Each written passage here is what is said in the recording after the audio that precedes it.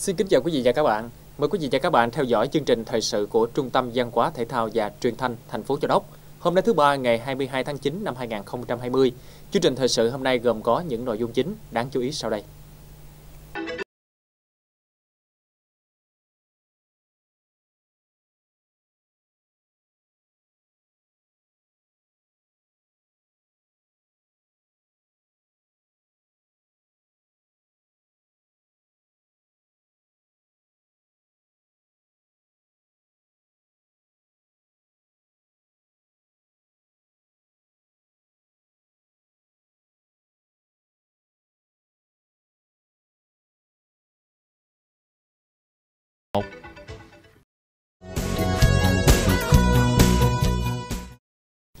Bây giờ sẽ là nội dung chi tiết.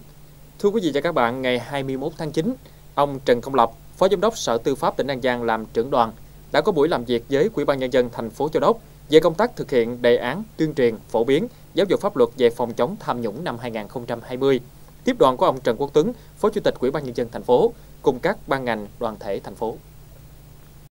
Năm qua, thành phố Châu Đốc đã thực hiện tốt công tác tuyên truyền, phổ biến pháp luật về phòng chống tham nhũng trong các cơ quan đơn vị, cán bộ công chức. Qua đó đã tổ chức được 208 cuộc tuyên truyền với 2.496 lượt người tham dự. Có 123 báo cáo viên, tuyên truyền viên pháp luật được tập huấn, bồi dưỡng cập nhật chính sách pháp luật về phòng chống tham nhũng, chiếm tỷ lệ 100%. 85% người dân nông thôn, đồng bào dân tộc,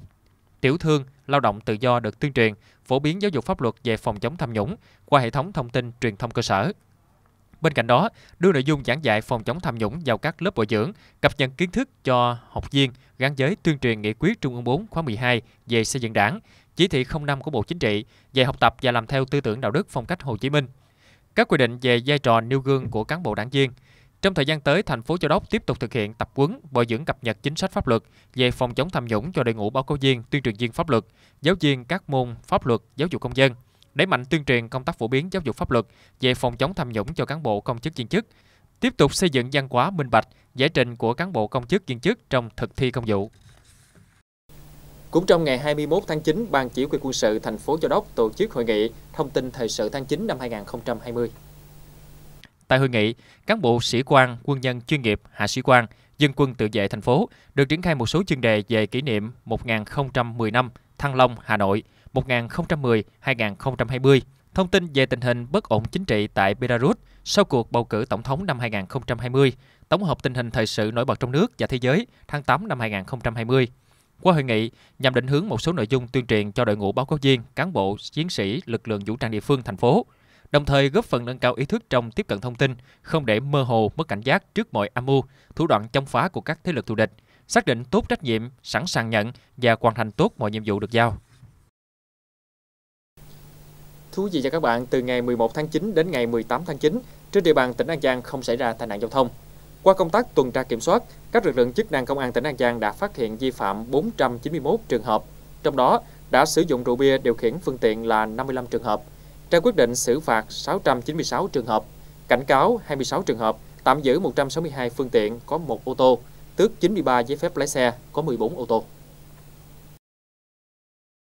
Trong thời gian tới, các lực lượng chức năng sẽ tăng cường công tác nắm tình hình, xây dựng và triển khai các phương án, kế hoạch, tổ chức tuần tra kiểm soát, xử lý vi phạm trật tự an toàn giao thông, tập trung vào các hành vi vi phạm quy định về nồng độ cồn, ma túy, lái xe chạy quá tốc độ, vượt đèn đỏ, đi sai phần đường, làn đường, cương quyết trấn áp những đối tượng manh động, chống người thi hành công vụ, người đi mô tô, xe máy vi phạm quy định bắt buộc đội mũ bảo hiểm. Cùng với đó, tổ chức tuyên truyền để người dân nâng cao trách nhiệm, tự nâng cao ý thức chấp hành pháp luật an toàn giao thông, phát động toàn dân cung cấp thông tin để các cơ quan chức năng xử lý các trường hợp vi phạm. Tiếp theo xin được chuyển sang một số tin tức đáng chú ý khác do nhóm phóng viên chúng tôi ghi nhận. Ngày 18 tháng 9, Thành đoàn Châu Đốc phối hợp trường tiểu học Mạc Định Chi tổ chức buổi hoạt động trải nghiệm tham gia giao thông cho các em học sinh. Hoạt động này nhằm giúp cho các em học sinh được quan sát các mô hình, hướng dẫn cho các em về các biển báo, ký hiệu, tín hiệu đèn giao thông, những kiến thức khi tham gia giao thông, xử lý các tình huống giao thông thực tế. Qua đó, giúp cho học sinh có nhận thức, thái độ đúng về việc nghiêm chỉnh chấp hành luật giao thông đường bộ và có hành vi thói quen tốt khi tham gia giao thông.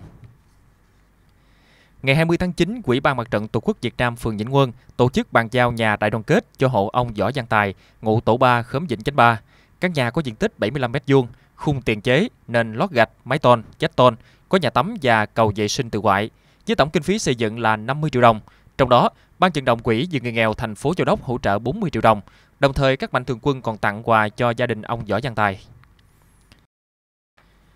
Ngày 21 tháng 9, trạm khuyến nông thành phố Châu Đốc phối hợp Hội nông dân phường Vĩnh Quân tổ chức buổi tập huấn nâng cao năng lực cho nông dân và lực lượng lao động nông thôn năm 2020.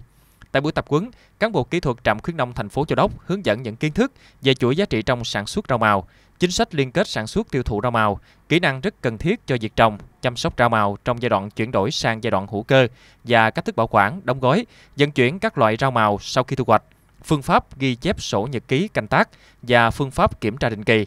Qua đó giúp cho các hộ nông dân trang bị thêm một số kiến thức trong trồng rau màu, góp phần nâng cao năng suất chất lượng và theo hướng an toàn bền vững.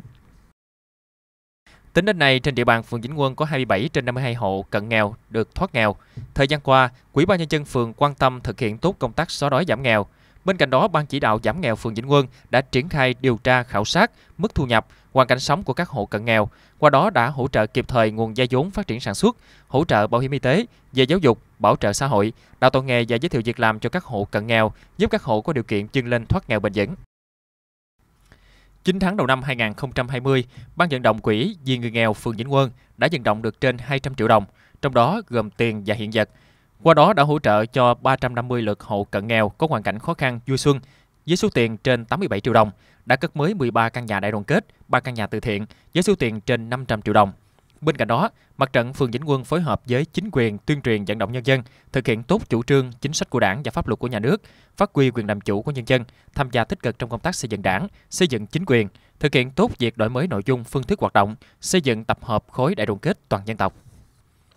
Đến đây chúng tôi xin được kết thúc chương trình thời sự của Trung tâm Văn hóa Thể thao và Truyền thanh thành phố Châu Đốc hôm nay. Cảm ơn quý vị và các bạn đã quan tâm theo dõi. Xin kính chào tạm biệt và hẹn gặp lại.